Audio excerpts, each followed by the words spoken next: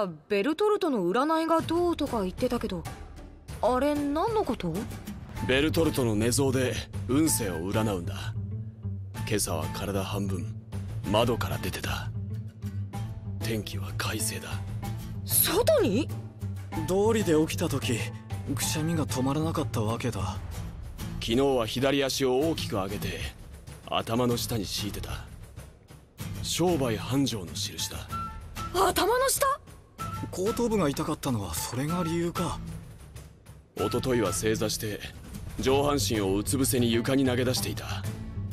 待ち人来たるってことだな。正座？